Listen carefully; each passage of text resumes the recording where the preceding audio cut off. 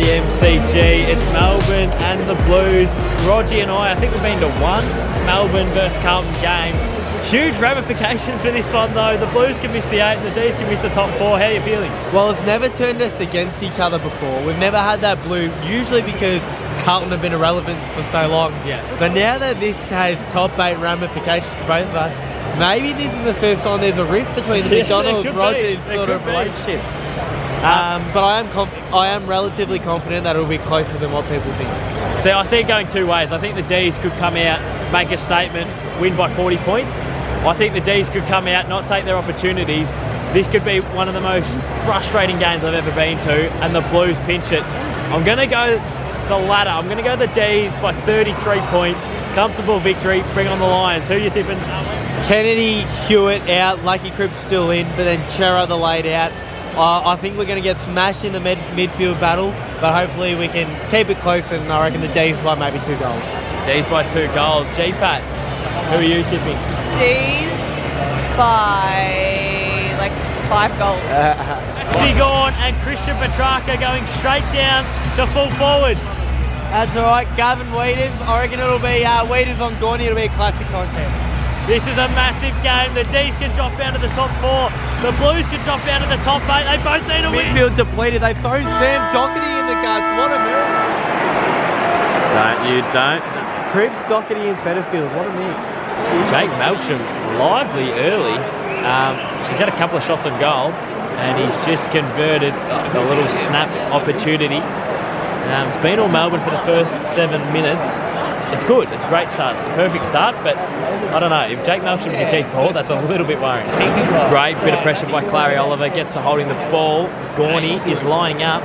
Missed a couple last week, so would like to get off to a great start this week. Come on, Maxi.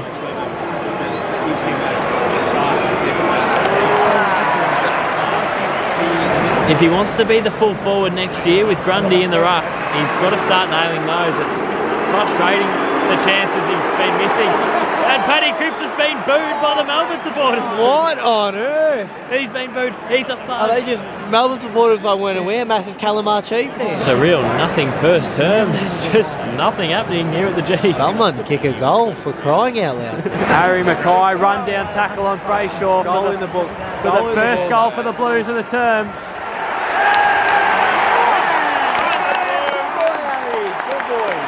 Quarter time here at the MCG, and the D's trail by a point. I don't know how to sum that quarter up. Nothing happened. Literally nothing happened. We had a lot of opportunities at half forward, and I guess I'm not massive on potting our forward entries because I think it's something we can fix up. But just that method of going long to the pocket is very, very frustrating. Melksham's probably our best forward so far. They haven't even, yeah, they haven't even fired up at all, and the Blues have been in third gear as well, so a bit of a nothing quarter here at the MCG. Um, and we trail, which is frustrating as well. So Kozzy Pickett lays a good tackle, gets holding the ball, and then runs around from 50 and slots the sausage roll. Looks like he's repping one of uh, Jayden Hunt's headbands as well. The D's are back in front by a goal to start this second term. Harry McKay goes bang, he's got his second. Um, he was just free inside 50. May came up to try and I don't know, make an impact in a in a contest that he didn't have to make an impact in. So they've gone all the way end to end from a stoppage as well. Very frustrating. The connector Spargo lining up. What's he got in the kick bag? Can't Sparg. Oh, he's hit the post. He's hit the post. Shout out to Charlie Spargo's brother Abe, one of the all-time great men. Jake Melksham's picked a great time to start playing some good footy. That's his second goal for the day. He's been looking like our best tall forward and small forward. At the ripe age of 31 32, the D's are out to a seven point lead. Surely, as a bit of goes all right alumni, like Yeah. Fisher, he's a hard man to. You can't hate that goal. No, I can't. It's a great snag. He's one of my favourites, Zachy Fisher. But how are we not stopping that? It's just frustrating. It is now 23 to 22. Sort of last couple of minutes of this second turn It's taking a hang. We just- on the we have- we have halftime the ball in siren. wing. And there's a dust on in the middle. Bayley Fritsch must kick this. Come on, Fritter. Where are you? Yes! Bayley converts. and she's on in the middle of the G. Half time here at the MCG, and the D's lead by eight points. Very frustrating half of football, Roger. Very frustrating. And that last goal to Fritter, super deflating. Sucked all the air out of me. I'm having a quick goal to Harry or Charlie, burst me back up like a balloon. It's only eight points for you. The third quarter is about to kick off. The D's need to lift. The Blues need to lift. I wonder what sort of second half we're going to get here. Come on, D. Gone an ominous target inside 50 if he is going to go forward. But when he has the shots, he just doesn't convert. And there's a lot of full forwards around the comp that can't convert either. But it's frustrating they can't be a little bit more accurate. Come on, Gordy, we need this. Yes. Yes, Maxie. That's better. We're engaging in the sort of game I thought was an option, and that is the frustrating Dower. frustrating dower Arm wrestling. arm, yeah, close Really contest. Not a shootout, but we're sort of going goal for goal. Our premiership defence doesn't let leaky snags like that get kicked. It is so frustrating. Jack Jack Silvagni's got on the end of that, and he's pulled it back to a kick. We walked in hoping it'd be what happens when the unstoppable force meets the immovable object, but it's a lot of what happens when the stoppable object meets the immovable force. And Melksham goes bang! As we speak, Jake Melksham kicks the next straight out of the centre clearance. It feels like we have to work so ridiculously hard for a goal, and you can do it a bit easier. Carlton kick two in a row, and they are back in front by a point. Been a shocking game, but we could have a ball burst of a finish, or you could kick the next four and just burst away with it. Who knows? Anyway, I'm sick of this. They're honestly, I'm going to make some big statements if we end up losing this game. Jack Martin marks, 25 out, directly in front. cannot miss, cannot miss this. Jack Martin rolls in and kicks it. The Blues kick out to a lead. It's our turn. We've got we've, we're having our turn at the moment. We've got the ascendancy. I feel like it's the first game all time where we've got it locked in our half. Now let's see if you can get it back on your terms or if we can keep capitalising. Missing multiple chances. Melksham, uh, Benny Brown, just missing chance after chance. Down by four. The Blues have it inside 50 now. It's a very frustrating third term for the D's. The D's are back in front. They kicked a goal, which wasn't allowed before. Because Ben Brown, he, he played on and he was out of bounds, but he didn't like run around the boundary. He was running back into play. I don't know how that wasn't just play on, but they called it back, and then we finally got it forward and Petracca's kicked from the boundary. We're up by two points. I've never been more frustrated at a game since middle 2019, I reckon. Three quarter time here at the MCG, and the D's are up by three points in a scrappy, low scoring, negative affair. I'm so close to losing my boil if we lose this. For me, if we don't make top four, we can't win the flag. So that's why I'm riding every biff, bump, and brawler at the minute. Rogie, the Blues have made a contest out of it. We've made a contest out of it. This is a good. This is a local level style of football where if you know you're clearly not better than the opposition, you turn it into the biggest crap you possibly can. Contest after contest, and hope you can flick your way to a win. It feels like that's been our strategy, and it's working to a degree. But I just think your class will outshine. I'm not so sure about this. I think it's going to be down to the wire. It's going to go goal for goal. It's going to be a scrap off. And geez, I hope we have our noses in front when the whistle goes to end this game. It all comes down to this, D's. How bad do you want it? Five minutes into the last, and it looks like it's going to go down to the wire. The D's are up by four points, but we've been pretty average in close games this year. We almost, in recent times, find a way to lose. So this is going to be a big test and a good practice in these tight games to, to find a way to get it done. Jack Martin has a free in the goal square, and he will put the Blues up seven minutes Don't- into the last quarter. Don't, don't declare it's a goal, Dots. It may not be. Jack Martin. He's kicked it. I am furious. We're in this position again. We're just not good enough. I just don't think we're good enough this year. This is just. Oh, I'm so frustrated. Uh, instant replies. You're behind for so long. You finally hit the lead, and then in a blink of an eye, the lead's perished. Collingwood were saying last week because we were walking it out of the centre clearance.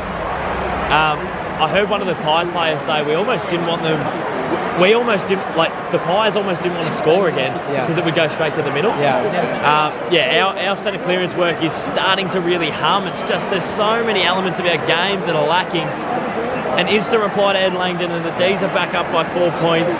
Oh, I hate this. I hate this so much. Clarry undisciplined with the free. Harry a little bit leaving a little bit to be desired with the miss. It is three points here at the G. Fisher's had a shot from 50 and kicked it, but we reckon Petty got a hand on it. Touched on the line by Petty. Two point ball game at the G.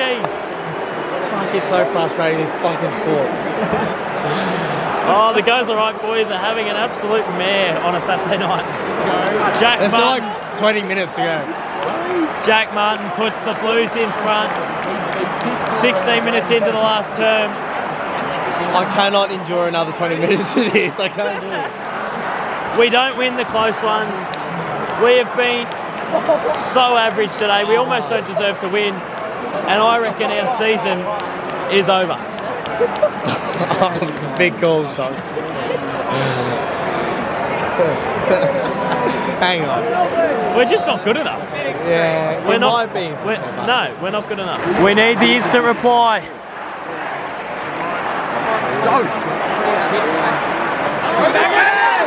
It's living in the Blues forward 50. Ben Brown marks and will kick from a slight angle.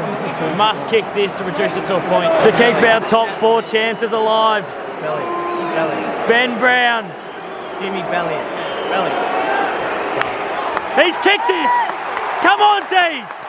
22 minutes into the last. This is excruciating. Still another 10 minutes to go. This is good. Like, when there was only two goals making the quarter, it was gone to 31, 32. He's got ages to go. Oh, Harry McKay for the game For this angle, I give him nearly no chance. Please, Harry. and to put the Blues into the finals. prove this little Filipino migrant right. Harry McKay with the game on his boot. Looks good. Harrison Petty single-handedly keeping us in it with his fingers. Charlie Curnow for the game. Charlie, you bastard. I can't even move. We've lost again.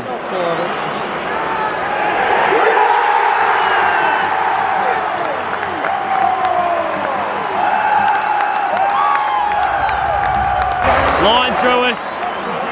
Put a line through us. We're not good enough. We're not good enough this season. I've been waiting to say for a few weeks. We needed to win the last two to sort of solidify and crush any doubt. After a 10 0 start, How long's left? we're done.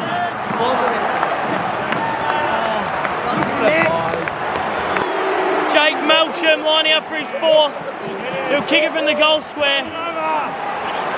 He's given 50. This to reduce it. Come on. One point ball game here at the G. Clearances have been elite, but our scoring hasn't. Roger's bloody nervous.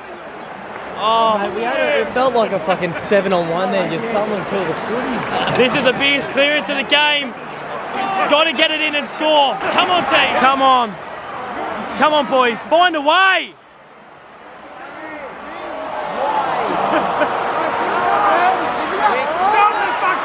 Find a way, boys. Find a way.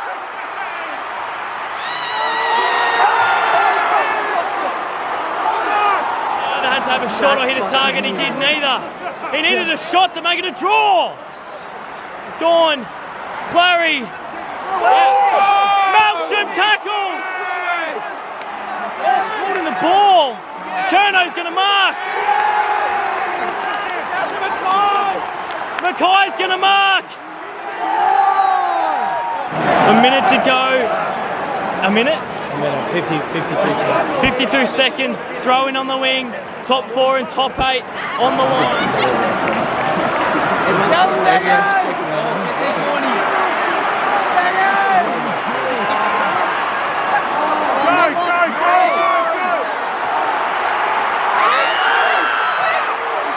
Looking for a mark. Brown. We just need a score. Pickett. It's floating. Yeah! Come on! Come on, Kozzy Pickett!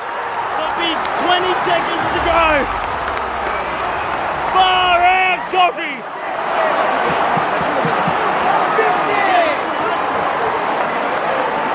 Can't be long left, can't be more than 20 seconds to go. This clearance is everything. The clearance wins the game and the Blues go forward.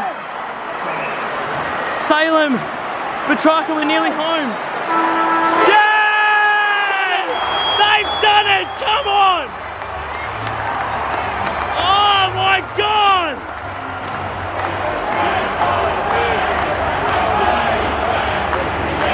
Out! Scenes here the! Come on! I can't believe it!